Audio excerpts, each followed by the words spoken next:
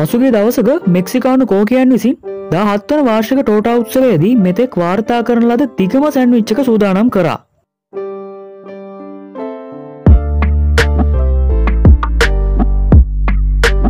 මේ සැන්විච්චක දිගින් මීටර හැත්ත හතරක් සහ අවු වශයෙන් බර කිලෝග්‍රෑම් අටසීයක් පමණ වෙනවා.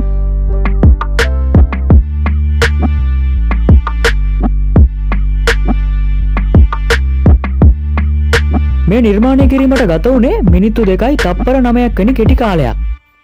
මෙහි සෑම කොටසක්ම විවිධ රසයන්ගෙන් යුක්ත වූ අතර ඒ සෑම රසයක්ම දේශීය වට්ටෝරකුණුයි සාදා ඇත්තේ.